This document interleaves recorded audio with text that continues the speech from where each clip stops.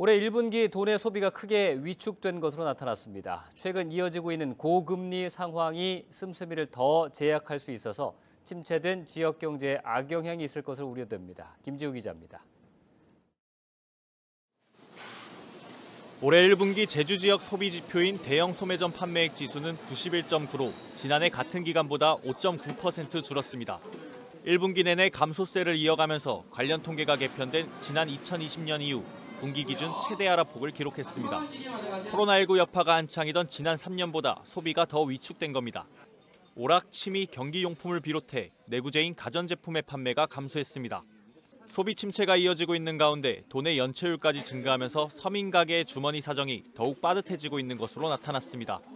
한국은행 제주본부에 따르면 지난 2월 제주 지역 예금은행의 연체율은 0.43%로 전월과 비교해 0.08%포인트 상승했습니다. 이는 전국 평균 0.36%보다 높은 수치입니다. 차입 주체별 연체율은 가계 대출이 0.57%, 기업 대출이 0.34%로 나타났습니다. 특히 올 들어 가계 대출 연체율이 급등하면서 최근 2년 사이 최대치를 기록했습니다.